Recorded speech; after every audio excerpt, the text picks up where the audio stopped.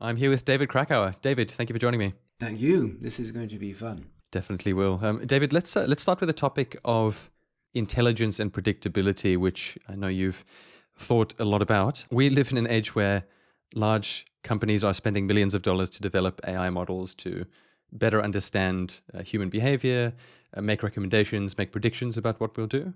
Um, I would wager that the people who end up listening to this conversation are probably doing so because an algorithm has recommended it to them. Um, and as we know, these models are getting much more powerful, and we're deferring more and more of our autonomy to them. Um, my question to you is Do you feel like there is a limit to how well they will be able to predict our behavior and our choices? There are several issues here, right? One issue relates to the fundamental fundamental limitations to prediction based on fundamental theory, right? Um, what can physics predict on its own? The Laplacian conceit, which we should talk about. And then there is what you can predict at mesoscopic and macroscopic scales that are of greater interest to us. And there, of course, we kind of know the answer because there are coarse grained things we can predict quite effectively, average things, supply and demand, for example. If I charge 10 times as much for a toothbrush, you're going to be more careful with the toothbrush that you already own, um, as opposed to halving its price. And so macroscopic prediction of that sort is quite strong. But when it comes to the specificities of preference, or the behavior of organisms at a microscopic scale, then of course we do terribly. So I think it's, we do very well at the fundamental level, and then it gets worse and worse until we have a principled reason to average, and then it gets better and better. Yeah. Yeah. Well, let's, let's, let's stick with the fundamental level then for a second. I think a, um, I mean, this is an age old philosophical question, the question of, you know, determinism and, and whether the universe itself is in some sense, uh, in principle, predictable. Um, many physicists, I think, do hold the intuition quite strongly that there should be at least some set of underlying fundamental laws uh, that would, in principle, allow us to predict what the universe does. Do you feel like such a set of laws exists? Is there any reason to think that they, they do or they don't exist? Right. So I think several things there. So I think the laws exist. Mm-hmm. Um, I think there is a fundamental set of laws. It's just I don't think they're very useful. Um, I mean, take physics alone for a second. There is no unified theory of physics, right? So we don't know how to go from quantum mechanics to the continuum limits in a theory of gravity, so that's a fail. We don't know how to go from classical mechanics to statistical mechanics, that's a trick, the so called ergodic hypothesis. And we don't know how to go from really fundamental physics to mesoscopic observables because of the problem of degenerate ground states or vacuum states. You know, string theory, you could argue, is perhaps one of the most fundamental theories we have, but it has, you know, 10 to the 500, if not 10 to the 5,000 solutions, all of which are compatible with the laws, right? The laws don't make a distinction between these solution. But mesoscopically, in the world that we live in, they would make a difference. So even within physics, right, when you say, is there a fundamental predictive theory, it depends what scale you're asking the question, right? So, okay, that's the first point. But then there's a whole really fascinating set of issues that give rise to what have been called epistemic horizons, which is how, you know, in some sense, like a real horizon. How far can you see into the future? This is a temporal horizon. And there are, we should discuss these many theories and, and insights that were not available to, say, Laplace, which who typically quoted in relation to the. Predictive power of fundamental theory. By the way, historically inaccurately. Perhaps we can also discuss oh, that, right? Because that's, that's also not. yeah, well, actually, let's go there first because it's just sort of fun. You know, when Laplace yeah. was making his statements about a super intelligent being aware of the state of every possible particle at every scale at some time yes. that we can extrapolate into the future. I mean, he was making those statements at the beginning of the 19th century based on an incomplete understanding of systems of differential equations. Um, Laplace did not know that if you had perfect initial conditions and laws, there would be unique solutions, right? In other words, that you could predict. That actually wasn't proved for several decades after Laplace, right? In other words, um, so that result, which is a technical result, was not was not known to him. Um, and that's sometimes called Lipschitz continuity, the, the, thing that we now generalizes this notion of unique solutions to, to systems of differential equations. Le, so Laplace's position was not based on physics, it was based on metaphysics. And this is often forget, forgotten, right? So the two big influences on Laplace came from, on the one hand, Condorcet. And Condorcet was very interested in what he called, you know, um, necessary versus contingent laws. He thought Newton's laws were contingent, you know, whereas the universe was necessary. So the laws could be different. And what are the implications of having universal contingent laws? And there, Laplace was borrowing from Leibniz, right? He, the principle of sufficient reason and the principle of continuity. So, base in a nutshell, the principle of sufficient reason says every observable, every event has a cause. Every effect has a cause. And the principle of continuity says that if you were to observe more microscopically, say subdivide time between the original event and its cause, you'd find in another event and its effect, rather. So, in other words, the principle of sufficient reason that the universe is causal plus the continuity assumptions gave rise to Laplace's metaphysical belief, not mathematics and not physics. And my view on Laplace is that if Laplace lived now, someone as smart as that, um, he would never have made that statement. It, it, it, would have seemed ludicrous to him. And I think the, um, the reasons for that are precisely all of the various contributors to what we think of as this epistemic horizon. Um, and so, okay, let me just list a few just to make that explicit. First of all, Laplace assumed an infinitely intelligent being who had infinite resources to measure initial conditions. That's impossible it would require really a deity in order for that to be done. Because if you can't measure initial conditions perfectly, you're measuring volumes. And if you're measuring volumes, you're dealing with probabilistic trajectories. Okay, so that's gone. So determinism in that simple is gone.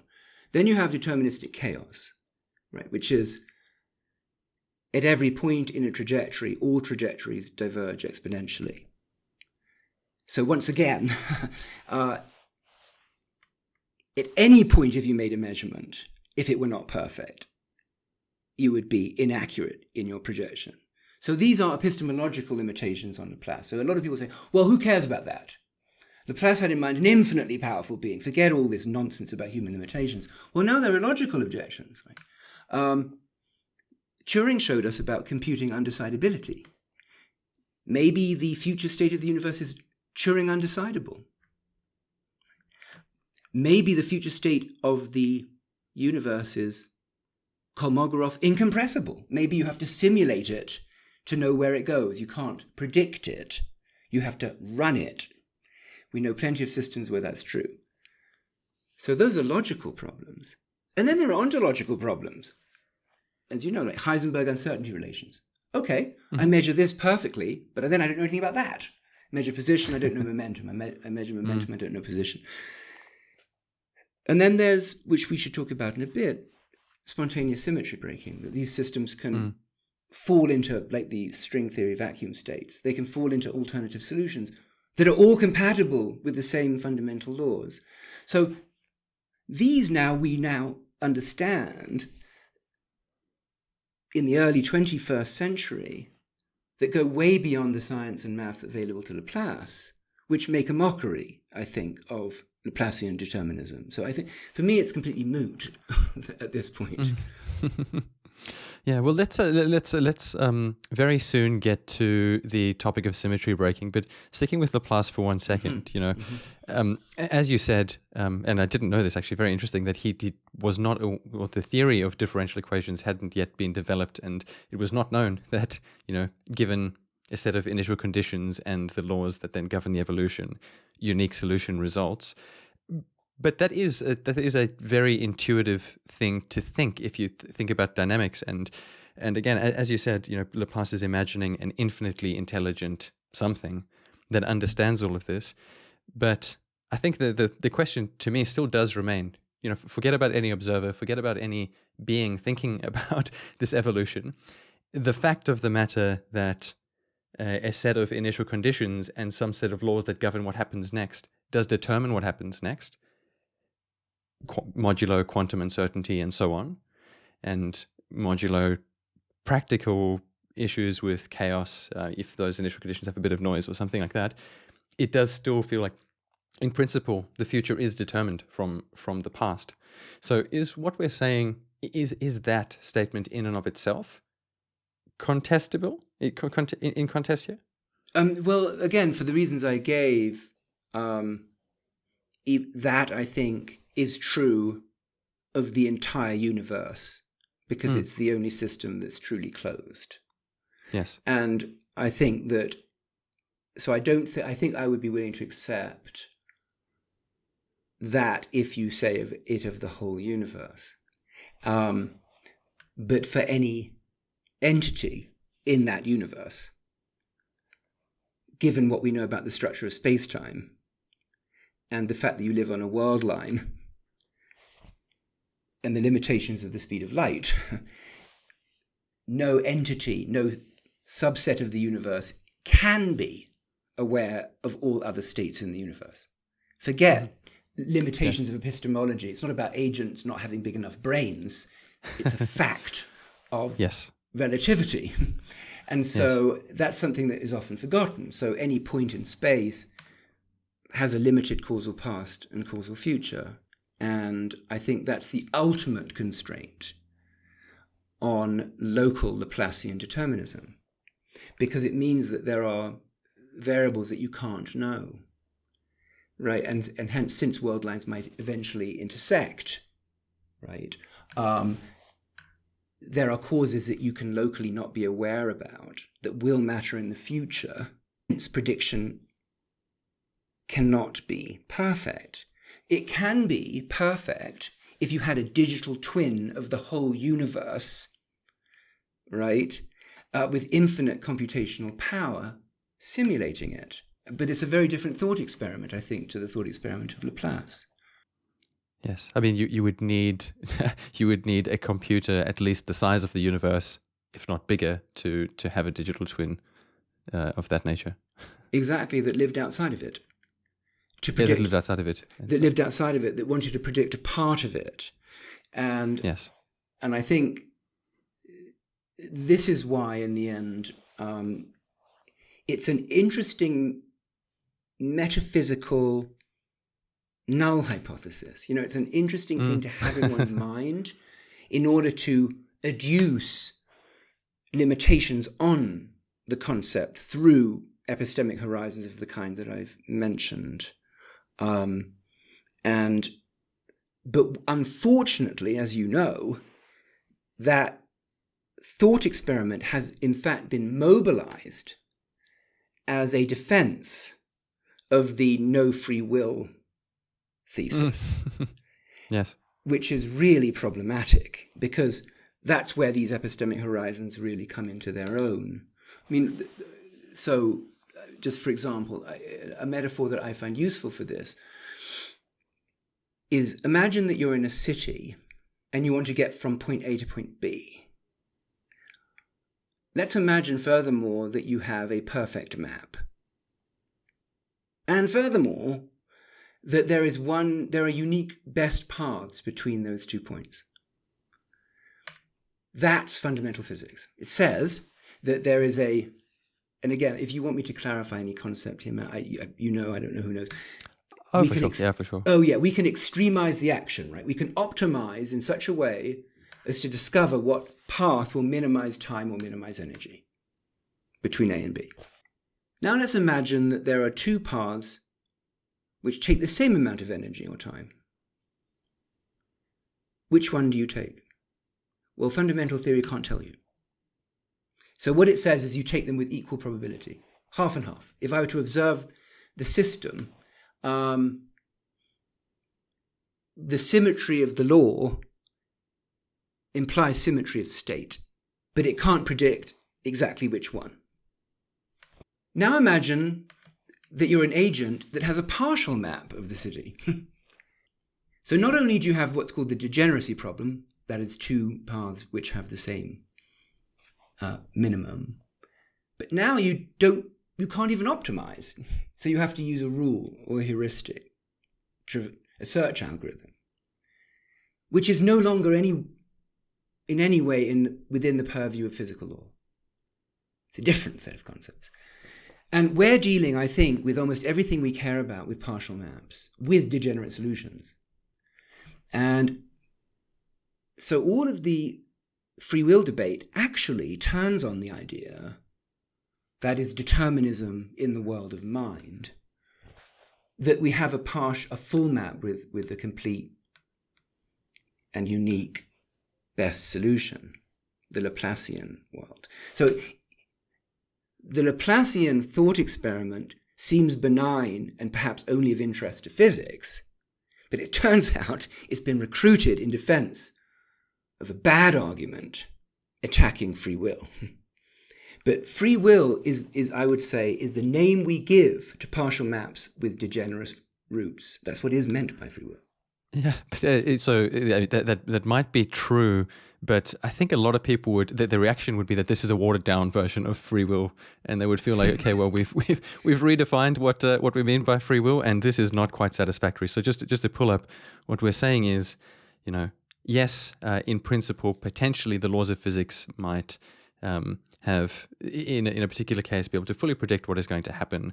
Um, but in the case of limited agents with limited minds and limited information, uh, that is not the case. And it can, in principle, never be the case because we're never fully closed systems in this universe.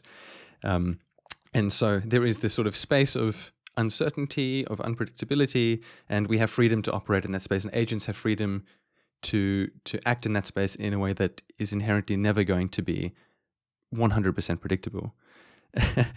but is that is that the free will that people feel that they have? Uh, you know, I think it's the free will that we're referring to. It's interesting you say that because I do think that um, mm. the so let's take the contrasting position: the no free will, full determinism, Laplacian psychology.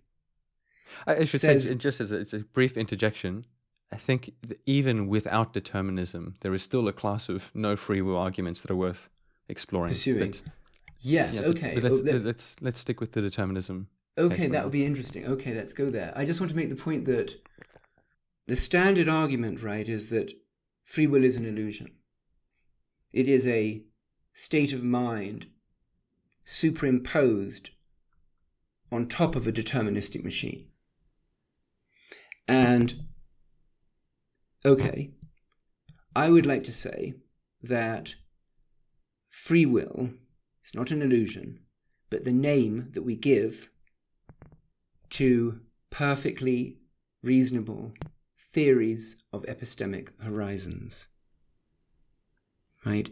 And that that single term refers to that entire class of phenomena, which are not about necessarily limited human capability. As I said, some of them are about spontaneous symmetry breaking, some of them are about the Heisenberg uncertainty relations, and so on, right? Some of them are fundamentally ontological, some of them about Turing's undecidability. So that whole class of phenomena, I think, contributes to our feeling of self determination. I don't think it's one thing. And Dan Dennett, in his book Freedom Evolves, talks about compatibilism right? This idea that you can have Laplacian universes and still have free will. And I think the way he justifies it is he says that free will evolves.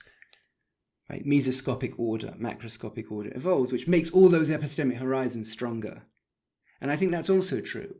But I, but I think that one way of actually resolving this debate is to ground agency in a physical theory of the epistemic horizon. And then we get a principled notion of free will that would satisfy the physicalists who don't like human fallibility.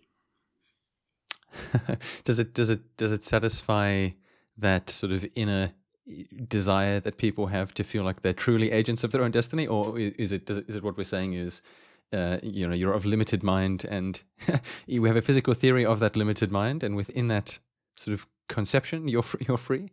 Uh, I mean, it satisfies really me. It satisfies me. You see, I, I because I think it's not quite the same as saying I lack imagination or I mm. lack computing power.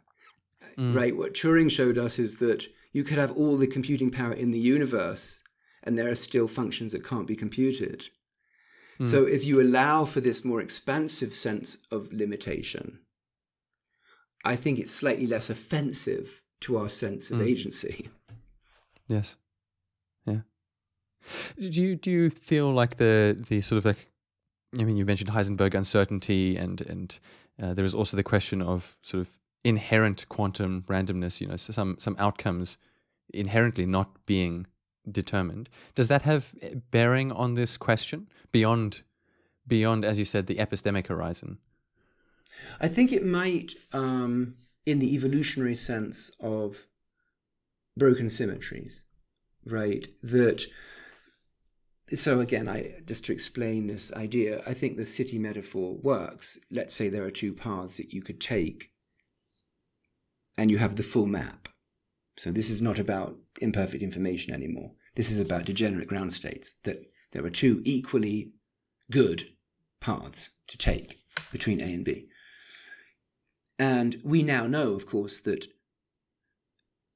particles come into existence, molecules come into existence, organisms come into existence through breaking those symmetries. Right? RNA, DNA have are right-handed molecules. They have chirality. Proteins and molecules, most molecules are left handed. And the fact of them being left handed or right handed is why we have a biological world, because if that wasn't true, they couldn't interact. But that left handedness and right handedness is symmetric with respect to the laws of physics, right? So, what broke the symmetry? Why did we get some molecules right and quite consistently so? And I think that it could be that at the level of fundamental interactions or particles, fluctuations of the kind that come from the quantum domain might be important. I think as you go up into the mesoscopic scale, we're really talking about thermal fluctuations, which then mm. would be compatible with Laplacian principles, right? Because you'd say, ah, that molecule that broke the symmetry, I know, I knew it was going to break it towards the left. Yes. And I, so I think quantum might have a role to play in a much more fundamental sense of spontaneous symmetry breaking. Yes, got it. And so just again to, to play it back for those listening, the idea here is, you know, when we look at let's say amino acids, they all have they're they're all um, they have one chirality, but it could have been the otherwise. There is no underlying reason. And if you look at the laws of particle physics, I guess that would have determined them. They don't have this asymmetry in them. But through the evolutionary process, there are quantum fluctuations, and at some point, one path was taken, and this is what we've ended up with. Exactly. This, Exactly. So, in other words, the I mean, this is one of the great mysteries, right? The the, the symmetric laws of physics don't correspond to the asymmetric population of physical states. Yes. Yes. Does the does that broken symmetry then again does that does that consist in not having sufficient information about what those underlying laws are? or does the symmetry like in what sense does that broken symmetry exist in and of itself yeah so that is an interesting question um, so the broken symmetries as you know i mean are real ontological effects um, this is what this will take us to emergence right? Because it's one of the most fundamental concepts in the theory of emergence that Philip Anderson in 1972, in a very famous paper, More is Different, wrote extensively about this problem and which he thought was at the root of all complexity, which I guess Um, and he gave the example of very small molecules that have more than one ground state, more than one configuration corresponding to the minimum free energy, um, will fluctuate between the two. And so the symmetric laws of motion, the molecular dynamics, will produce a symmetric distribution. So if you took a measurement of the real world, you'd find it in A 50% and B 50%. He gives the example of ammonia, a NH3, a small molecule. But if you have a slightly bigger molecule, like phosphine, pH3, now the state that it lives in is the state that it started in. Same symmetric laws of motion. So you would predict 50 50. But unfortunately, the energy barrier that has to be overcome to move from one state to the other is large enough that it gets confined in its initial state. And so what happens is, is that the unknown parameter, what establishes the initial state, is dominant and the law subservient. And if you think about physical theory after Eugene Wigner, who wrote extensively about this, he said all physical theory tries to maximize the contribution of law and minimize the contribution of initial conditions, because those are the unknowns, those are parameters, they come from nowhere. And unfortunately, as matter gets larger, the state you observe is more and more consistent with the initial conditions and less and less predicted by the law. And, um, and that's not about ignorance, it's about ontology. But as I said earlier, what breaks that symmetry could be some tiny fluctuation. Maybe mm. it's fundamentally irreducibly random and quantum, mm-hmm. or maybe it's thermal. It's um it always surprises me that this this way of thinking about broken symmetries doesn't feel to be widely known or acknowledged even in let's say the I don't know, maybe in some parts of the physics community, the physics community is not one thing, but I think there is still this this idea of okay, you know, we have, um, you know, let's say laws of particle physics, and they give rise to laws of chemistry, and they give rise, to laws of biochemistry, and so on. And there's a very clear sort of hierarchy. Uh, one can go up all the way to even maybe the social sciences, but in principle, it's possible to come all the way back down, and, and in principle, all the higher level things are sort of determined um, by the underlying um, sort of more fundamental laws. Um, the the idea of like you know just how important these broken symmetries along the chain can be does not feel to be very acknowledged. Why why is that the case? I don't know. It's very interesting. I um I remember when I was at the Institute for Advanced Study in Princeton, and I would have lunch with Phil Anderson, who had once won the Nobel Prize for working in condensed matter. And at the table next to ours was Ed Witten's table, the string theory table. And Phil used to refer to them as theologians. and, um, and the reason he did refer to them as theologians is for this reason, actually, that the condensed matter physics community, so people who work on molecules and larger structures, you know, crystals and fluids and bodies, even soft condensed matter, um, they understand this perfectly well. you know, the high energy physicists, the particle physicists, seem to have forgotten. and I think the reason is a kind of what the psychologists would call a selection bias. Because if the things you measure and study exist at that subatomic level, then these kinds of considerations are less important. Right? But if you study crystals, lattices, right, if you study larger objects, then these considerations become vital. And I think there's a sort of history in which the high energy physicists were the sort of preeminent intellectual community in physics, right? You had the, you know, that my colleague, you know, Murray Gell-Mann, you had the Feynmans, you had the Julian Schwingers, you had Max Born, you had Niels Bohr. All the really smart people seem to be doing that stuff. and and I think but that's not about the structure of reality. It's about the institutions of physics, right? And I think that's really a part of it, quite seriously. Um, and then the other thing has to do with what falls under the purview of explanation. Because I think for a lot of people, things that are not fundamental are are sort of accidents. And they don't recognize that there are effective laws, right? Like Darwin's or Mendel's or, you know, the laws of condensed matter physics, fluctuation dissipation theorems, and so on, that are also laws. It's just that they don't operate at that fundamental level and exploit symmetry to the same degree, which tends to be a kind of almost spiritual quality of certain theories. And so those aren't recognized as law like, even though, of course, they are. And many people have been trying to make the claim, in, in certainly in our community, that computational theories, rule based reasoning, people like Stephen Wolfram has been making this claim for many years, have another foundational character. Not everything has to look like, you know, quantum field theory. And so there's all sorts of things that are going on that I think have made that community a bit blind uh, to this reality. Do you feel that the uh, just for a moment with let's say particle physics or string theory or pick any pick any flavor of sort of like underlying fundamental theory do you feel like it is are any are, is there any theory that is truly fundamental? Because and to, to say in one way is every theory has to have some sort of conceptual framework and that that framework has to exist in something. Or potentially it has to be exist in a mind.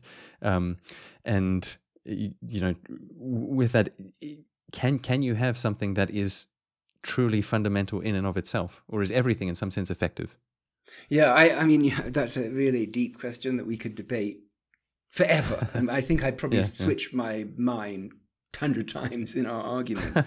I think that um, the famous statement on this was made by in Thomas Nagel in 1989 in a book he wrote called "The View from Nowhere," and the view the view from nowhere is the conceit that there can be an absolute ob- objective understanding of reality. Right, that's the sort of one Laplace is one version of the view from nowhere. And what you're saying is any entity in the universe capable of intellection, of reasoning about the universe, is subjective. And, um, and that fact imposes a non-fundamental character on all knowledge. Mm-hmm. And um, and I think and I'm sympathetic to that to some extent. But I'm also sympathetic actually with the view from nowhere when it comes to the entirety of the universe. Right? If you said yes not the agentic universe, but the entirety of the universe. I actually don't study that. I study parts of it that do yes. things we call intelligent, right, or stupid. Yes. Uh, both. um, so, actually, David Wolpert and I have proposed an alternative framework for this um, that we call the reality Ouroboros, which is a pluralistic, non subjective framework. And it works like this. Let's say that you were, like Roger Penrose, a Platonist like Paul Dirac, like most physicists actually. Um, so mathematics comes first, not physical reality. The most extreme version of this that annoys a physicist is John Wheeler's It from Bit. I mean, in a sense, It from Bit is Platonism post George Boole, right? I mean, it's a sort of it's an odd binary Platonism, but okay. Um, but let's say we start with that world, out of which comes approximate representations of Platonic perfection, physical theory, let's say. Okay? Out of which comes chemistry, out of which comes biology, out of which comes psychology, out of which comes society. But now what happens is that that society, through cultural evolution, develops mathematics. So it's gone in a circle. And what David and I say is that you can start at any point in that circle, but you then have to follow the circle rigorously around clockwise. So you could start with mind. Let's say mind is fundamental. Okay, simulation theory says that. Says all of reality as we know it was made by someone else, a super programmer. Okay, that's mind. Mind first.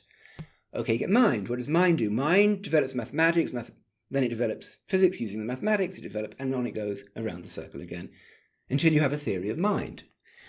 So we have this notion of actually a symmetric theory of reality in which any point in the Ouroboros can be defined as fundamental, but after which everything has to follow rigorously according to your laws and experiments and regularities. So there is no one fundamental, there's an infinite number And, and I think it's interesting that particular perspective does no less work, right? In other words, you still have all the theories of physics, you'd still be able to predict things in the real world. It's not a philosophical exercise with no implications. It's consistent with science as we practice it. And it's also consistent with the plurality of ways of being in the world, right? If you're a poet, I would say within this framework, you're no less fundamental, as long as you can follow the Ouroboros around. So it's a less greedy position to adopt. It's a more plural position to adopt, but preserves, if you like, the objective rigor of the deductive sequence that ensues from pursuing the Ouroboros around in a full cycle. Yeah. It reminds me a lot of uh, Douglas Hofstadter's uh, strange loops um, sort of idea. I don't know if you're familiar. familiar I am. I am. I, I, I'm very fond of Doug's work, and of course, Doug applies that to consciousness and the origin of self-awareness. Yes. In particular, but but this idea that the universe is full of these self-referential, if you like, loops, is mm. very appealing. Yes. Mm.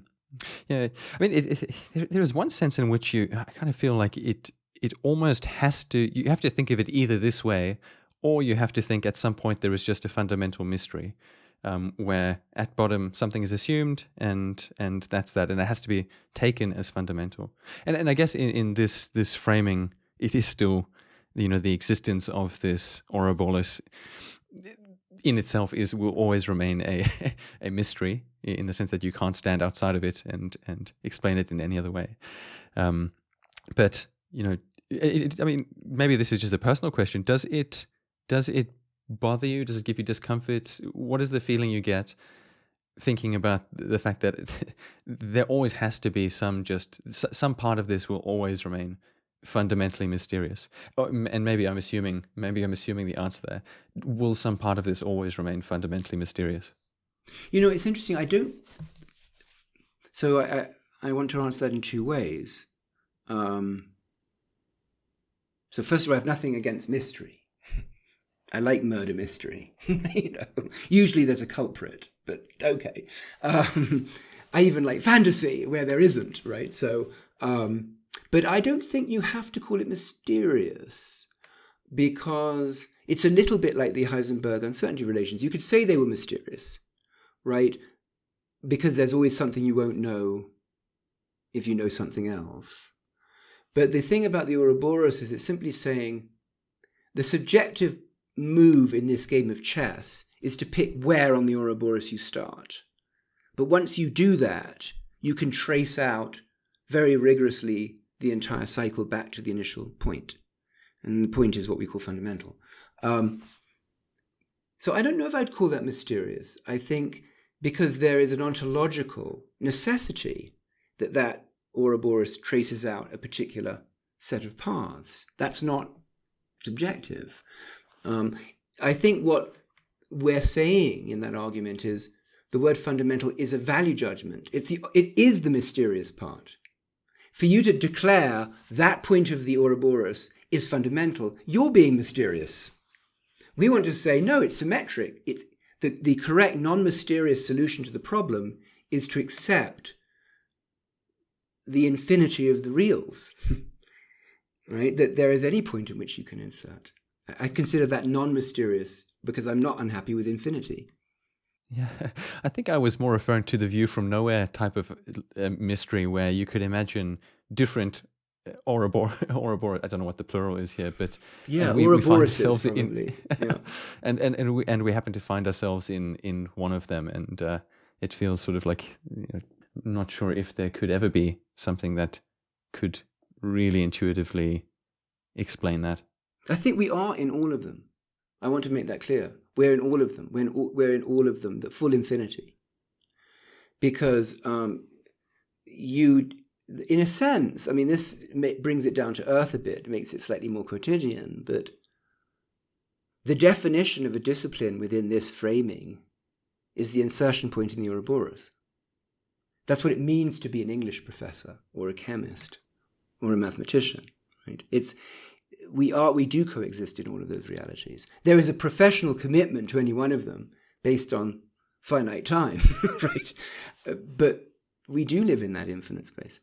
Okay, well let's uh, let's um let's then move on to what we mentioned just before this was which was emergence. So we talked about effective, we talked about fundamental theories, we talked about effective theories, which are sort of higher level, coarse grained descriptions in a sense, but also, you know, from a practical uh, from um, uh, for all practical purposes, very useful and can also be in and of themselves sort of I guess, complete in a sense that you know you don't need to look at something more fundamental to do everything you can with this theory. Um, let's let's explore this topic then of uh, emergence. Um, how would you how would you think about where emergence comes from? Almost almost reflecting the question of itself. How does emergence emerge? Yeah, I mean, again, it goes back to that. If you were talking to Phil Anderson, he would say the roots of emergence are in broken symmetry right? That um, that point at which the fundamental laws no longer do the predictive work that they have been charged with, right? I mean, that's the thing about scientists as opposed to metaphysicians is that we're pragmatic, right? So science, we like it because it does something. If it doesn't do anything except entertain us as a series of thought experiments, then it's not science anymore. And um, and Phil rightly points out that at the point that symmetry has been broken, the fundamental law no longer does work. So what do you do? and so we can look, I mean, let's take a DNA molecule. It's made up of nucleotides, A, C, G, T, T, C, A, G, and so on all of those permutations are compatible with physical law, right? They can't tell you about those permutations. They can tell you nothing about it. They can't see them, right? They, they even operate at that level, at that mesoscopic scale. So I want to understand them, though. Why do you have ACCGT and a mouse has ACCTG and a fly has GGCAT and so on? We want to understand it. We want to predict it. It turns out to do that, we need another theory.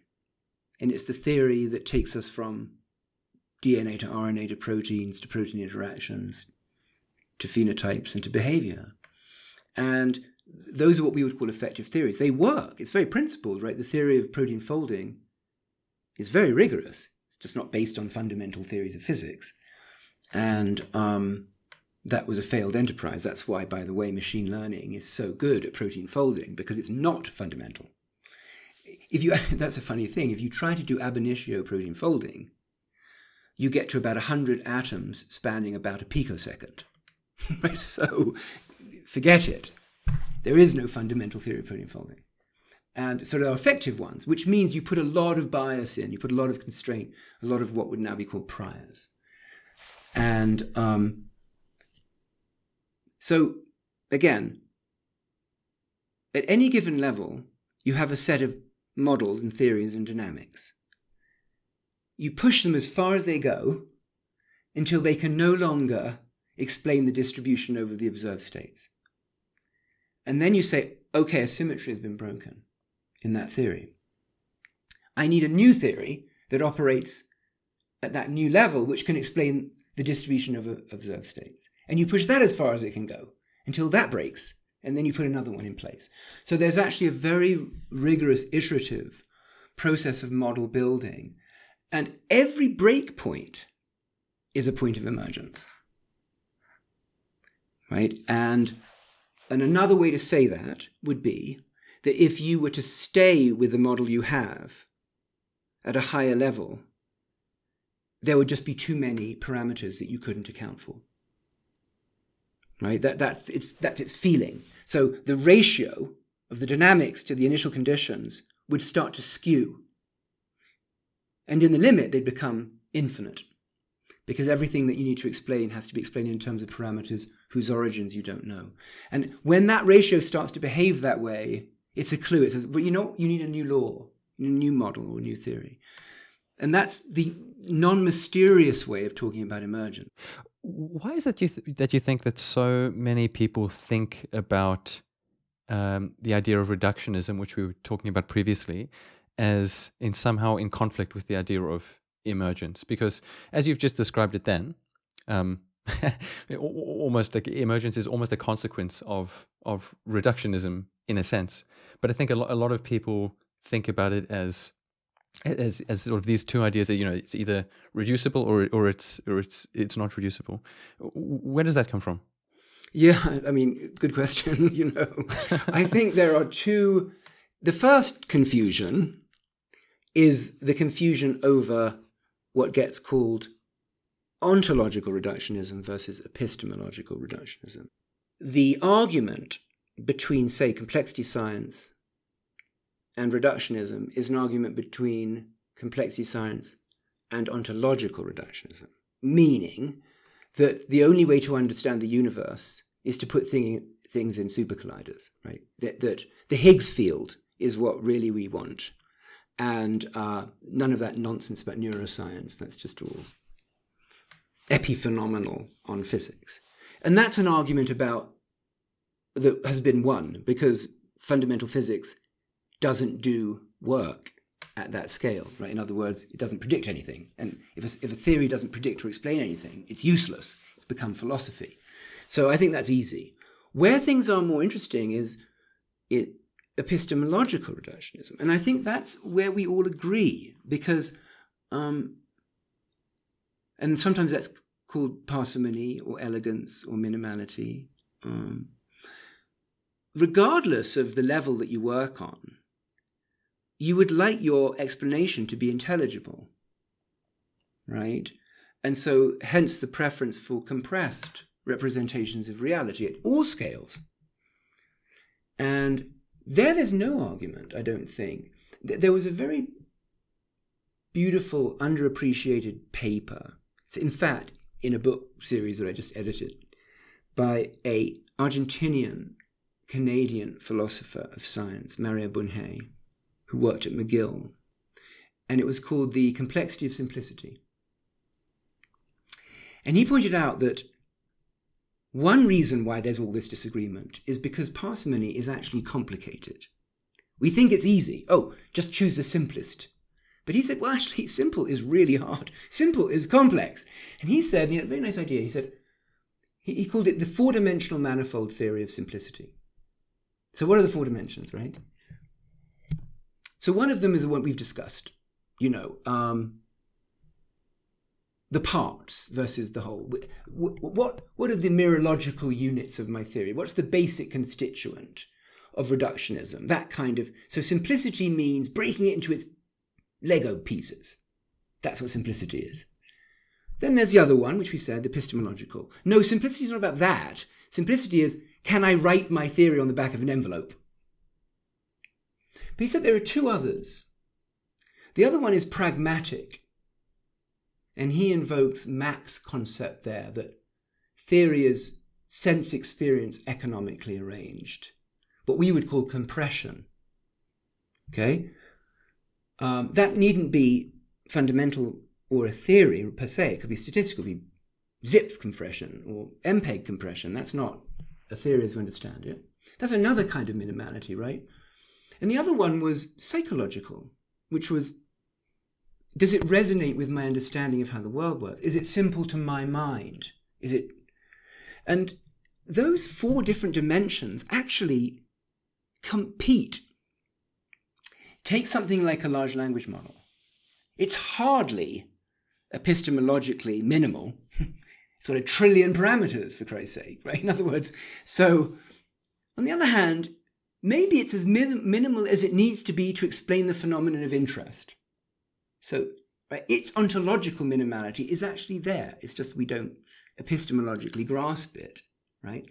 Um, it's clearly not intelligible, so it's not psychologically minimal, and so on. And I think it's very useful, and I suspect that the reason why there's been so much disagreement is because we've been living in a higher dimensional space than we think. And one consequence is we're speaking at cross purposes. Right? And so the, criti- the criticism of machine learning, oh, it's just unwieldy and it's a mess. Well, yes, if that if your criterion is that particular epistemological minimality, and um, which I think is a reasonable one to have. Is I'm not putting any weight on them. I'm just saying that I think that is part of the enduring um, source of this disagreement. That's a very interesting perspective, and and I do, I do want to get to the book, uh, the book series and the paper series in a, in a minute. But what you've just said brings up this uh, question to me. Our intuition is constrained in a in a particular way, or we seek we seek theories that feel uh, intuitive or graspable to us. Um, but I mean, clearly there are different ways of, of thinking. There are different ways. The human way of thinking is not the only way of thinking, and um, you know, basically, are we optimizing for the wrong thing? Uh, in many cases, um, you know, in particular, I think the case of large language models is is great because, from a practical standpoint, what what they can do is, I would say, already phenomenal, um, but it, it, feels completely opaque to to, to us, uh, and and that, and we, we we think of that as a big problem, and I, I do I do wonder quite often if the thing that we're optimizing for uh, is just a kind of sort of like often an unfortunate fact of just the way our minds work. And there is a whole realm of theory, of intelligence, of yeah, whatever you call it, the things that that we're not looking for. Um, is that is that something you you think about at all? You know, different ways of thinking, non-human ways of of thinking, and actually how much of the the problems that we've been discussing actually just relate to that versus being inherent in the in the thing itself. Yeah, I think it's very profound. I think about it a lot. I mean, in a way, that's all I think about. so that's my sort of interest, the evolution of intelligence. And one of the questions is this one. And I'll give you two analogies that might clarify it, perhaps. Let's consider the um, current debate about sporting events that are either enhanced or not enhanced by drugs. Okay? There are people out there who'd say all that matters is watching someone run very fast. Okay? In which case, who cares? The limiters of that, of course, they just get in a Ferrari and drive 100 meters. Okay? Which none of us would find interesting. But it is, in some sense, just an extrapolation from biochemical enhancement of physiology. And there are others who say, no, actually, there's something about pushing the human to its limits that interests me. And and I think when it comes to sport, I'm probably in that camp. I kind of don't think I want to see people who are cyborgs. I mean, it would be an interesting event in itself, but I still would be fascinated by the Olympic Games. Right? I'm still something about. Okay. And of course, I mention that as an analog to an intelligible theory, making sense of the world with our own minds. That's like running the race without chemical enhancement. Let's take another example. Um, the use of tools, which is something I think about a lot. I call it exbodiment, which is enhancing our function with tools. Like I use a knife and a fork to eat. Somehow I don't feel that that's compromising in the way that taking performance enhancing drugs is. You know, if I went to a meal with you and you ate with your hands or with your mouth, I'd, I might actually give you a knife and a fork, you know. I think, you know, given the objective, you'd be better off being enhanced by a tool that exceeds the capability of your kinematics, right? Why are they different using a knife and fork from using performance enhancing drugs? And I think it comes down to the first being about the objective function, if you like, is human performance. The second objective function is metabolic intake. And of course, mathematics also fits into this story because mathematics is like a knife and a fork. Once you become facile with those particular instruments, you don't have to think about how they work, and they're clearly enhancing our ability to imagine and compute. So the punchline here is what is science? Is science a human activity to grasp the universe the way an athlete performs in an event? Or is science a utilitarian exercise that seeks to maximize the extraction of free energy from the universe, right? And I think it's both. I think that's the thing. I think it's both. And um, it's a humanistic exercise and it is a utilitarian exercise. And we just have to somehow be clear about, in each case, which it is. Um, the arts suffer less from this because they don't have such an obvious utilitarian value. I think they do have utilitarian value, but it's not quite as obvious, I think, as science. And I, I, think that's what lies at the root of this problem, and, and people haven't been clear enough on those distinctions, and hence endless, pointless deba- debate. That's a fascinating perspective. I, th- I think, um, you know, when you do go, you know, we talked about Ed Witten and the string theorists table earlier, and like clearly that that they would fall more into the camp of the, um, you know, understanding is the thing yes. versus utilitarian, uh, and I guess a lot of people do find some people find this more objectionable in a sense. You know, they feel science should be di- directed more towards practical, more practical, outcome-driven matters. Um, I think complexity science and the area that you work, something that I like very much about it is that it does seem more than any other way of doing things. We're thinking it bridges the various levels and the various disciplines, and I actually feel it do, it does bring very fundamental ideas out into into the practical world in quite a Let direct me, way. Yeah, can I give you a my middle ground on those two positions now? Yes, yes. Which I think perhaps resolves the dialectic a bit. So let's take the now the example not of performance enhancing drugs, not of a kitchen utensil, but a musical instrument. Let's take the example of a violin. Okay clearly it's performance enhancing, right? There are things you can do with violin with you can't do by whistling, presumably, right? Well, someone might be able to. So, okay, it might not sound very good. But the thing about a violin is it also permits human expertise in the way that an athlete can be expert. So here's an interesting, in the way that I say a fork can't so readily. so the artifacts and enhancements that I'm interested in that have utilitarian value are the ones that also allow for humanistic expression. And the question I think about LLMs is whether they are violins. Right? I have no problem with something which is different and enhancing above the baseline of human performance at its maximum but I want that thing to be able to allow me to express myself in novel ways, like a violin. And I think the jury is out. I think this is, for me at least, why I am on the fence. Not about the fact that they do amazing things, but what their contribution to human civilization will be. And um, that hasn't had enough debate and discussion. There is some discussion, for example, around the idea of, you know, context window coding that what will replace coding is being really having a facility with asking the right questions in some sense. And maybe that's true. It doesn't quite feel like a violin to me, but you know, maybe that's my lack of imagination. Maybe that's just a question of time. But but I think that is how we should think about um, resolving the, on the one hand, as you say, humanistic pursuit of science through the pursuit of an in intelligible universe, and the more engineering like ambitions of science to have instrumental value in the world.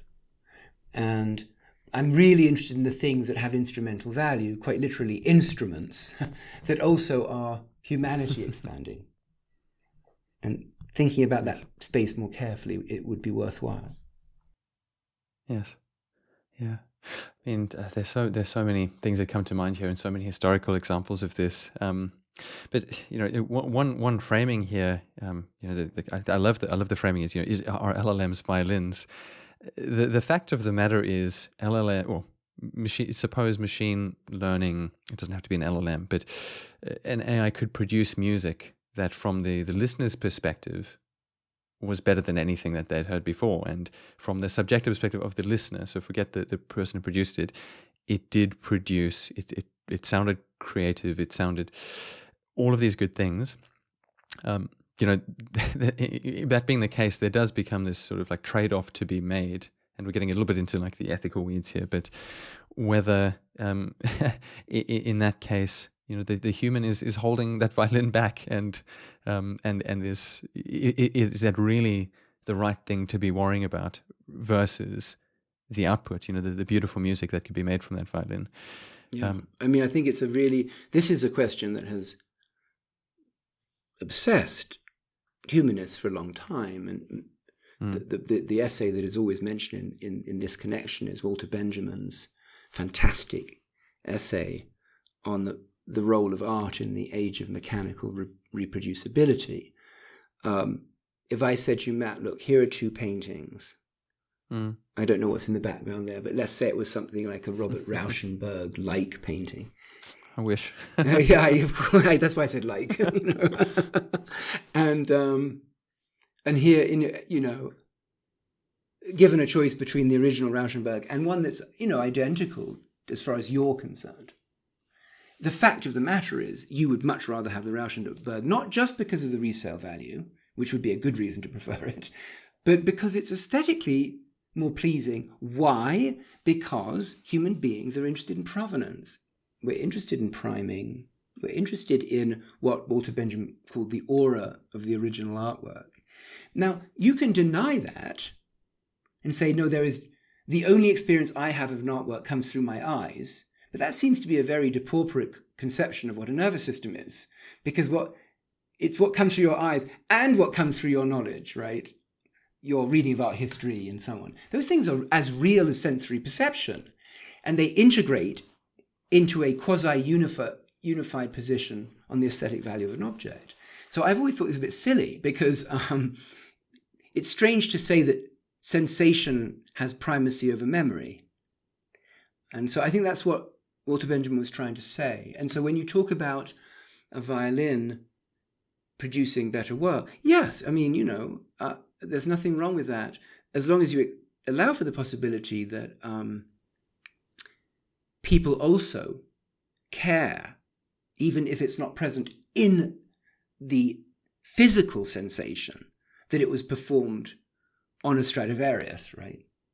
And and so forth. And I think again, I think this just encourages us to have a more complete understanding of the nature of human aesthetics.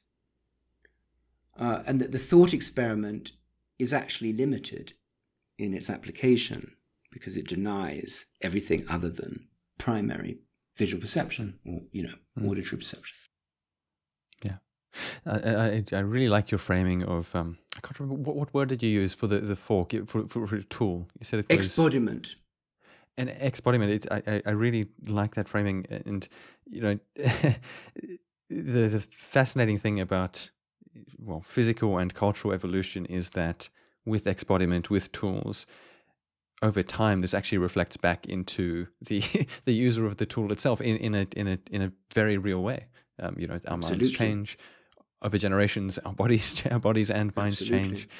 Um, do, do you worry about what the existence of these sorts of you know, I don't know, cognitive substitutes, cognitive augmentation, the cognitive exbodiment, uh, yeah. you know, tools out there will do to us over the longer term? I think it is what makes us human. It's not. I don't worry about them. I consider it defining of the human condition. The mm. uh, Cecilia Heyes at Oxford um, calls them cognitive gadgets like mathematics, right? yes. Like language.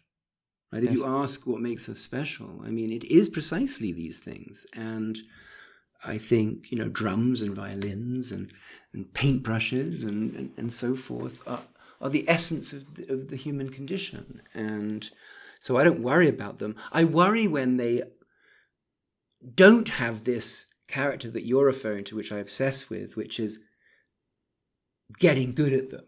You know, I'm very interested in things that you can get good at, right? And paintbrushes and violins and, and, and, sport and all those things um,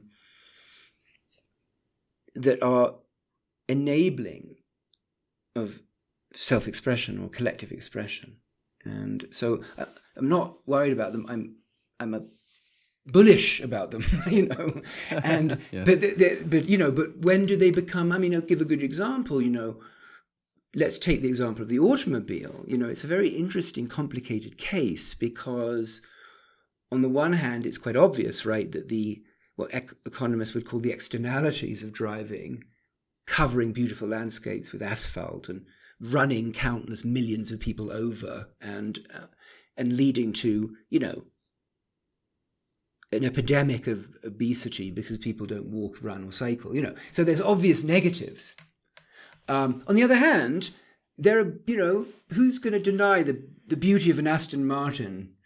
you know, you know, who's going to deny the extraordinary skill of a Senna in in Formula One race driving? You know, everything is complicated, and um, and I think just my approach has always been to sort of dissect in such a way to understand all of those quite distinctly the aesthetic contribution, the practical contribution, the cognitive contribution, and um, and think about them carefully. Um, and the question for me, right, is you know, you know, will there be a Steph Curry of LLMs? you know, it's it's you know, will, will there be an extraordinary athlete of that world? Will there be an extraordinary mathematician? Or is it something else? Is it more like a really badly designed car that just emits a huge amount of pollution and um, will never be an elegant machine? And, and, and I, I think it's fair to say the jury is out at this point.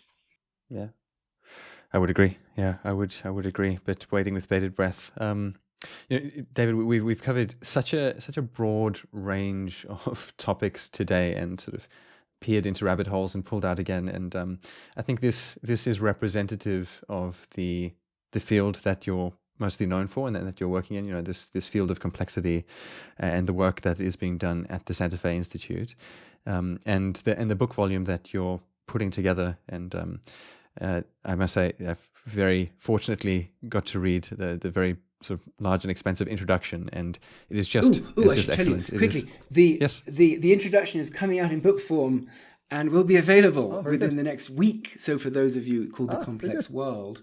So that bit that you read is, is a standalone book, as well as being the introduction to volume one of the four volumes. Oh, fantastic! I will, yeah, I will, I will link it into the, the notes, and, and I'll say it is, um, it's just exactly the right blend of science and philosophy that this, uh, this podcast is about. So I think people will enjoy it. Um, I mean, I almost don't know where to start with this because it is such a it is such a wide ranging piece. Would you mind just giving me a little bit about the sort of background here, the series, um, the development, like what is the, what is the origin of this of this series? You know, there's this question people ask rightly: What is complexity? You know, is it a discipline? Is it like chemistry? Is it like physics? Is it like biology? What is it? it seems to me nonsense. You know, it's like, um, is it some new age set of ideas? Um, you know, what is it? And I think it's a totally reasonable question to ask of any field, quite frankly. And so it started there with me trying to reflect on what it is. And so I went to all my colleagues, you know, and the Santa Fe Institute, for those who don't know, is a based in New Mexico, in Santa Fe, on a mountaintop, and um, two campuses actually. And I started asking my colleagues, you know, if there was one paper that I really would have to read that you think is in some sense constitutive of what complexity science is all about, what would it be? It's not an easy question, by the way, to answer. And people say, well, let me think about it. Some people never answered me, right? Some people answered immediately, others, you know. And, um, and so I started accumulating these papers. Um, and they span 100 years, these papers. They start in 1922 um, with Lotka and then go to Szilard's famous paper on Maxwell's demons in 1929. And they end with Bob Laughlin, who won the Nobel Prize in Condensed Matter, and Elinor Ostrom in 2000, who won the Nobel Prize in Economics for collective action. So it's 100 years. It's about around 90 papers. And I asked each of these folks, and there are many, to also write an essay to place every one of those papers in context. Why was it important? Why did you recommend it? What was the enduring influence? And I got all these papers and I started to see, oh my God, there's actually, there's a coherent pattern that runs through all of them. There is a centroid here that we call complexity. That I really wasn't sure, right? In other words, I kind of I have to be gung ho about it. I do run the Santa Fe Institute, and, and and there are many things I could have said before, but now I really believe it in a way I'm not sure I even did before. And what we essentially work on is systems that are either self-organizing or selected, far from equilibrium, dissipative structures with either short or long memories of the past that are used to make predictions about the future. We, we work on teleonomic matter, purposeful matter.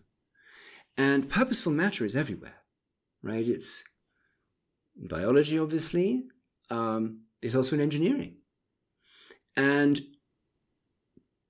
so, why aren't we just biologists and economists and engineers? Because we try to look for the principles that span all of them. That's what makes our approach a bit different. It says, instead of putting the phenomenon in the primary position, put the principles in the primary position and ask about all phenomena that somehow can be explained or explicated or understood in terms of those principles.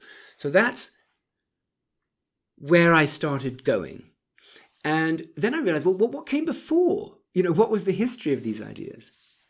And it's it comes out, it's amazing, right? It's very clear. Um, as I say in that book, in the same way that modern physics and, let's say, inorganic chemistry comes out of the scientific revolution of the 17th century, complexity science comes out of the Industrial Revolution. And what we study are machines. We study machines that were either evolved or that were built. The prequels to what we do are, you know, thermodynamics, statistical mechanics, the theory of evolution, the theory of nonlinear dynamics, and the theory of logic and computation. You know, Boole, Babbage, Maxwell, Clausius, Boltzmann, Darwin, Mendel, Wallace, Poincare. That crew were essentially defining the circumference of what would in the 20th century start to be connected in movements like cybernetics and others that were trying to connect information theory to dynamics, to computation, to physics. And as I said, the sort of concenter of that endeavor is trying to understand purposeful matter. That's what comes out through the superposition of all of these papers. And we, I think we've just started. Yeah. I mean, the, the, um, the, the name of this podcast is, is Paradigm, and uh, I don't know if it's a consequence of that or what it is, but uh, very often we end up talking about paradigms and you know, looking not just at, at what we know, but at the whole system of knowledge in, in which we know it, and sort of examining that. And um, this this whole complexity business uh, does seem to be so at the start of defining a very new paradigm, a new way of thinking about about things, as you said, matter with matter with purpose. Um, what what is your what is your vision for what this looks like over the coming years? What what does a complexity paradigm look like? Yeah, it's. I mean, it, I think it's. I mean, this is why I was so interested in your podcast. I thought, oh, that's. I've been, in a sense, my last several years have been trying to understand the nature of a particular paradigm or an emerging mm. paradigm, to use that word as, mm. as well. Um, the, you know, most people are familiar with that term from Thomas Kuhn, from the structure of scientific revolutions, that revolutions are periods of time in which paradigms emerge. And it's difficult to understand what that means, but if you look more carefully, he wrote another several papers after that book where he talks about a paradigm as the structure of a disciplinary matrix. Or, if you like, there's a set of ideas that connect harmoniously, and then there's a set of ideas that just don't connect. It's like a disconnected graph. And the connected graph is what we mean by the paradigm. And periods of normal science are where you just add vertices to that graph and connect them. And periods of revolution is where you make a observation and it just blows the graph apart. It says, I don't want to live in there. You know, that's exactly like quantum mechanics and classical mechanics. Like, it doesn't fit. I need to build an entirely new set of graphs, right? Because it's not going to fit in the classical one. And, and the world is just full of these disconnected graphs. It's very interesting. And part of what we try to do is connect them. And complexity is this set of ideas that are in themselves challenging, like non equilibrium statistical physics, adaptive dynamics, nonlinear control theory, all these things, right? Um, thermodynamics of computation. They themselves are hard. And to reconcile them is even harder. So when you say, what is the future? That's the future.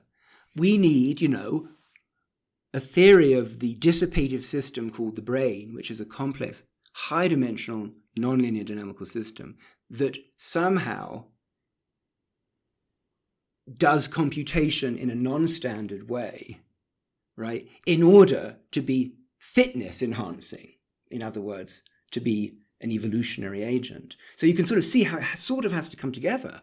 But uh, I don't think we have a clue. I mean, you know, there are there are certain edges that are being built, but it's very new, and I think that's one of the, the other reasons why people have asked the perfectly reasonable question of what is it, uh, because that graph is very incomplete.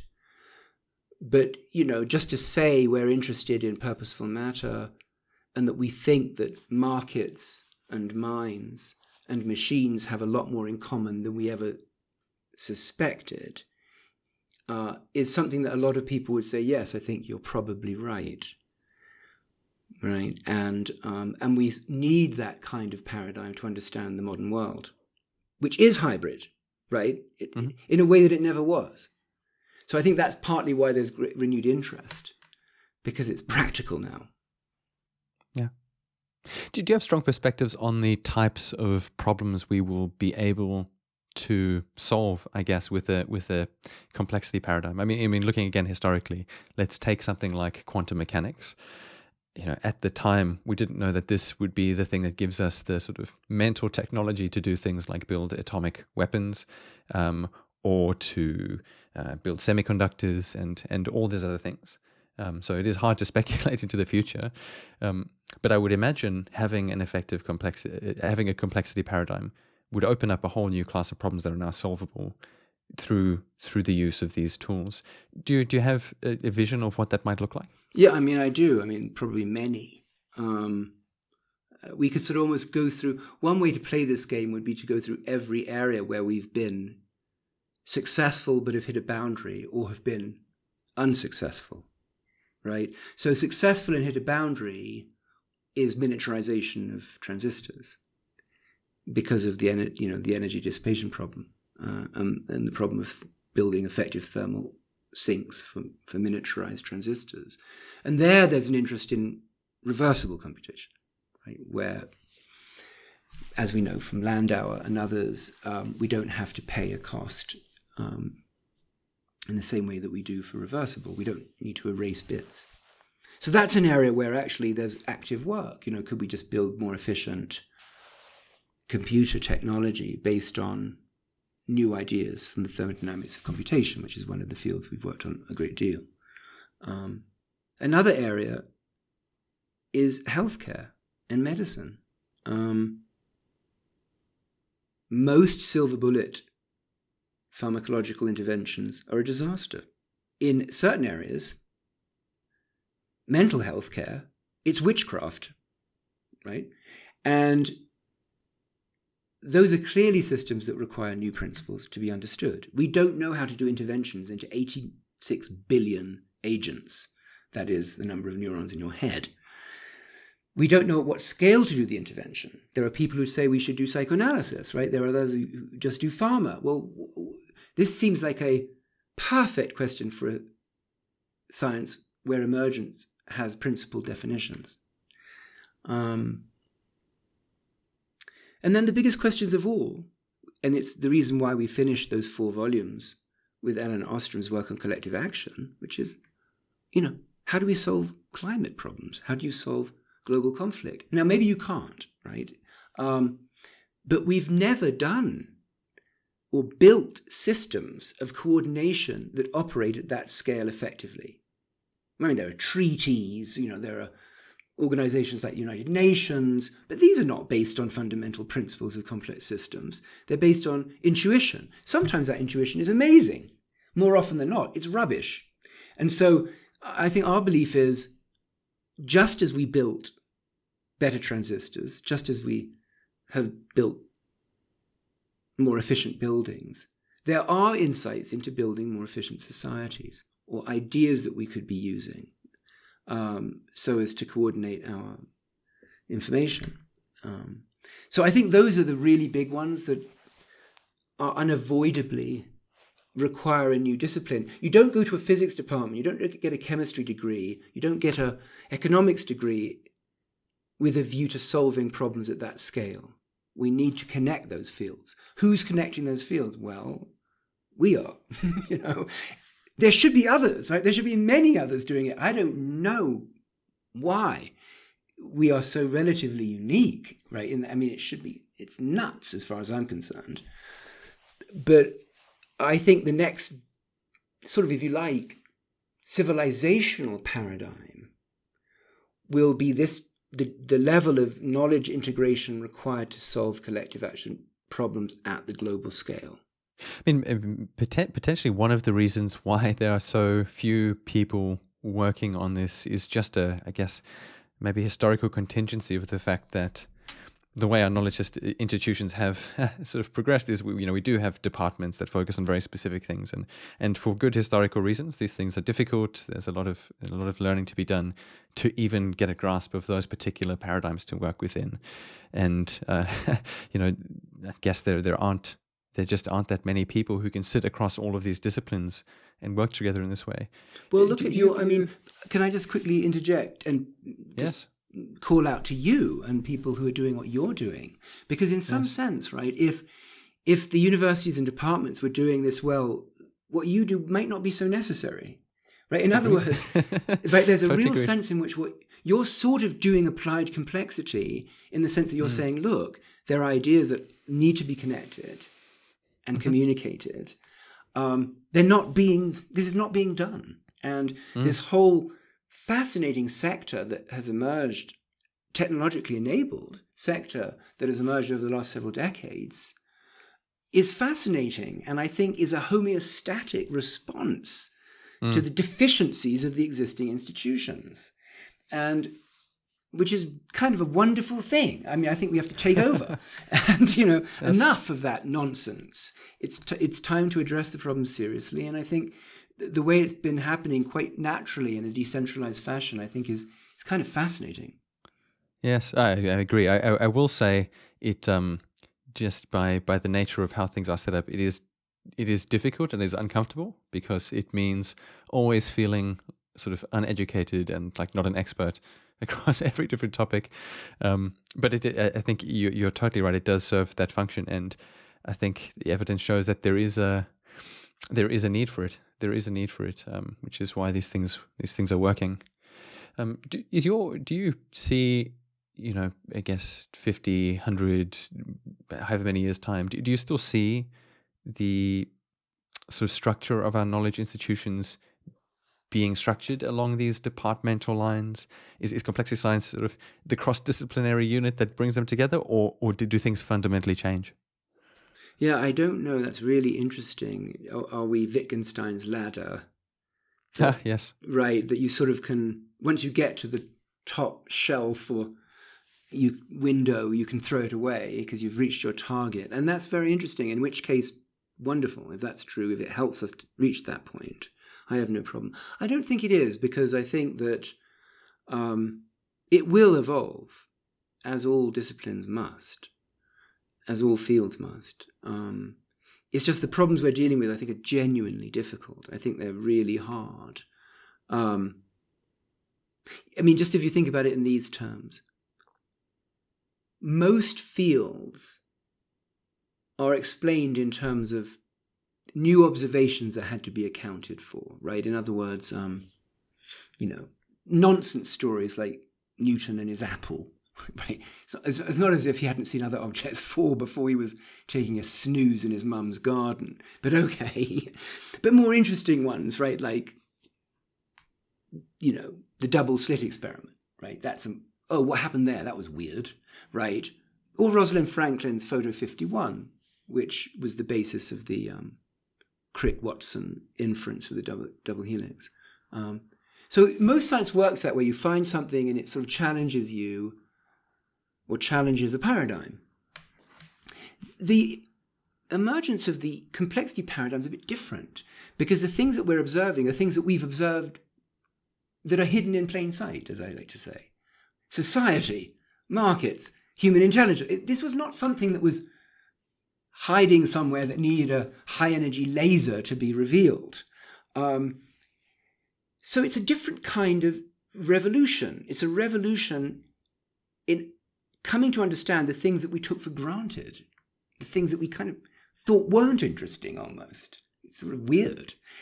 I mean, why is society less interesting than what an electron does? I mean, it seems to be more interesting. But it was so part of our everyday experience that it didn't seem to warrant the same kind of rigorous attention.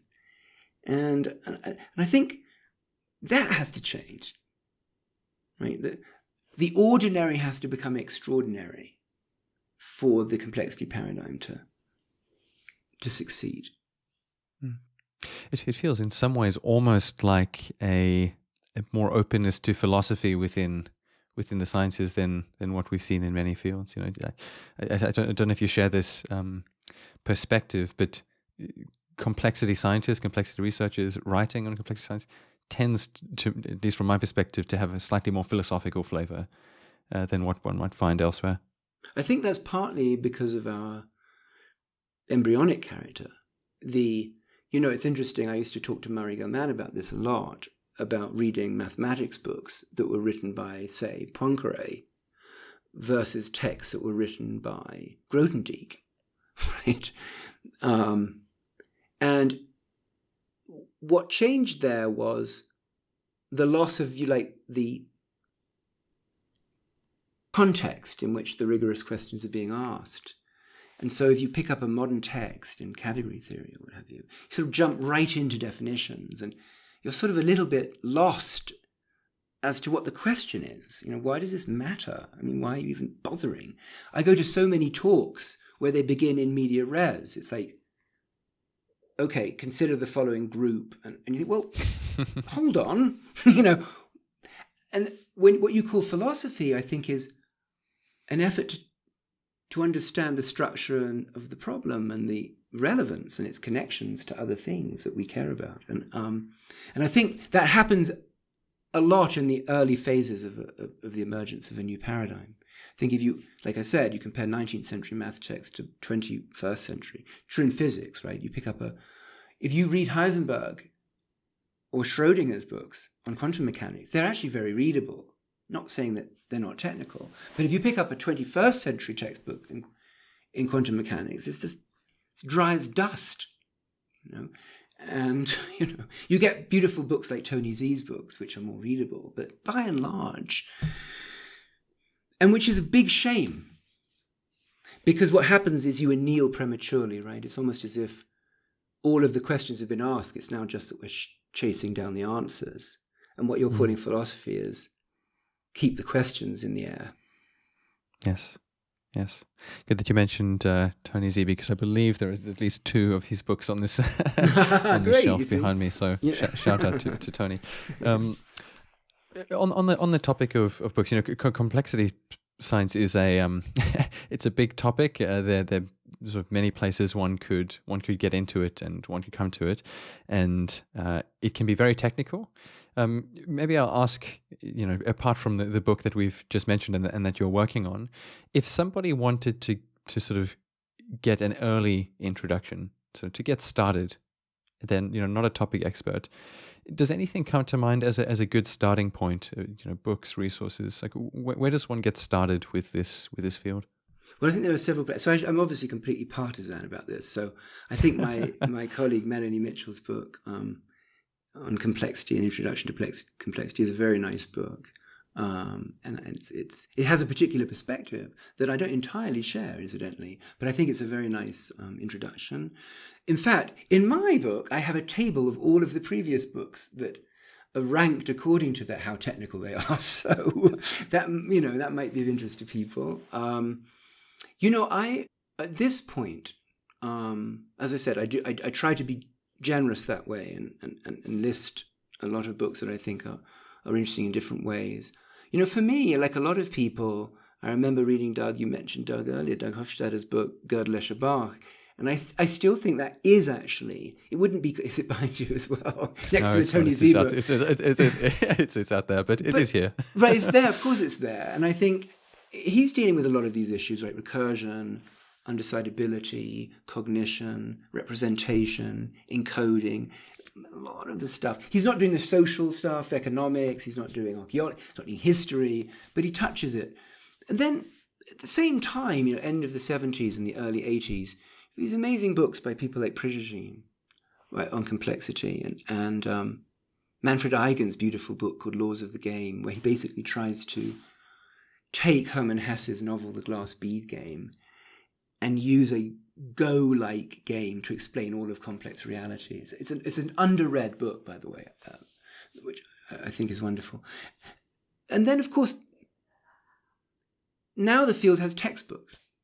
Um, and any number of them. Mark Newman has a beautiful textbook on networks, and, and on it goes. Um, I think my colleague Geoffrey West's book on scale is a very interesting area, one area of complexity science that shows its enormous application to issues of energetics and urbanization. And there are many, and I could go on and on.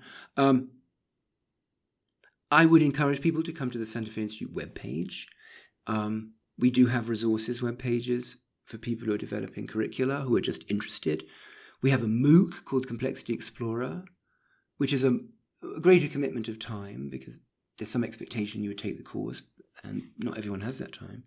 So we do have lots of resources online for people to look at. Um, but you know, there are, I don't want to claim that SFI is the only place doing complexity. Um, I am unapologetically biased, so, but you know, if you went to Amazon and, and searched, I'm sure you'd find all sorts of books that, that, would be of interest to you, given you know whatever um, one's own perspective was. Yeah, no, fantastic. Um, have there have there been any particular books, and they don't have to be based on complexity, books in general, that have been particularly influential for you personally? Many.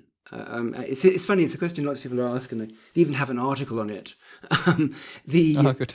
yeah, actually, with my brother, my brother and I were interviewed on exactly that question. And it's a, it's an article. I'll, I'll send you a link. Um, you know, I, I I've spent my entire life devouring fiction. I, I, I love novels. I, I love science fiction. I love fiction, and um, you know, if you ask me what the most important books for me that way were, I would say which I share with my colleague, former colleague Cormac McCarthy, who is here forever, wonderful novelist. Um, Moby Dick. I think Melville in that book, he kind of touches on everything we've touched on in a sort of weird way. I mean, you have the Ahab character who's just despondent and, and enraged by the fact that he doesn't understand everything. Uh, you have biology, you have teamwork, you have currency exchanges. It's a sort of extraordinary microcosm. I think it's partly why I love it. Um, I love Robert Musil's The Man Without Qualities, which is, in some sense, to me, it's much less read, but it's really the modern Moby Dick. It sort of takes. He was Mach's student, actually, uh, um, uh, worked on, on the philosophy of physics, and then became a novelist. So I think novels, for some reason, it's why I'm such a fan of people like Neal Stephenson, who's also here, and Ted Chiang, who's also here. Um, and I talk to them a lot about these topics. Um, in the non-fiction world, of course, there are books like Doug's, um, but there I tend to read more technical books. You know, I, I, a sort of limited tolerance for popular science books, and that's simply because I'm in it. Do you know what I mean? I feel as if I'm either going to read the technical books and the technical papers, or I'm going to read novels, you know. And I, with very, very few exceptions, do I enjoy reading popular science. Um, you know, there are great books by Richard Dawkins and Roger Penrose, and all these people are just wonderful people. Um, but, you know, it's sort of a problem. I'm a little bit too close to it to be satisfied by that level of dilution. You know, it's, it's, it's kind of been ruined for me somehow. It's like being a, it would be like being, you know, a sommelier or something and going to a restaurant, you know, spitting out all the wine they give you. It's not that it's bad. It's just that you've you've been spoiled by having by drunk by having drunk too many good bottles of wine. yes, yeah, totally. Well, I think great, great um, recommendations there, and I will link them into the uh, into the episode notes. Um, David, as we bring it to a wrap, one question that uh, I like to to end off on. You know, we've talked a lot about um, uh, many things, but we've talked about intelligence, we've talked about artificial intelligence. Um, suppose we were one day to be visited or to create an AI superintelligence, and we had to choose one person, uh, either past or present, to represent us to this uh, this super intelligent other. Who would we send? Who should we send? You know, up until I read Benjamin Labatut's Maniac, I would have said someone like John von Neumann. Mm. But now that I know more about him, he's the last person I would have sent. Um, right. In other words, incredibly clever, but the morality of a sort of a sea squirt. So, um, you know, part of me wants to say Thelonious Monk, you know. Oh, um, interesting. Part of me wants to say Nelson Mandela. Part of me wants to say von Neumann. Um, I mean, what we've discovered, you know, what makes the question impossible, of course, is the fact that we are all so limited in our abilities. And according to which side of the bed I get out of, I either think being ethically deep is more important or scientifically deep is more important. And I don't think I can break the symmetry. you know, I think I um sort of met so many extraordinary people and and one of the things about getting to know extraordinary people is coming to understand how limited they are. Right um, so in the spirit of sfi who work, that works on collectives it's going to have to be a group. I'm so sorry. It has to be a group of extraordinary people. I'm going to send it's going to be one of those sort of balloon type contests. I'm going to send an artist and a musician and, and a scientist and an activist and put them all together you know. And maybe one day the collective intelligence that we call an llm or its future descendants will contain multitudes. And and and you know maybe we'll send that thing. Yeah. Well i think that's a that's a that's a beautiful idea and a beautiful place to uh, to wrap up. Um, david thank you so much for the conversation today. It's been fantastic. Welcome. Thank you so much